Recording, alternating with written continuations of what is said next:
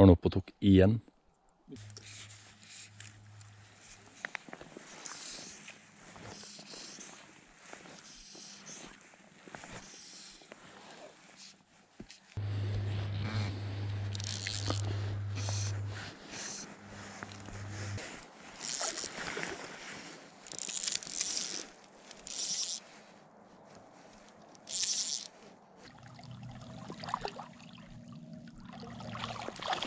Oh.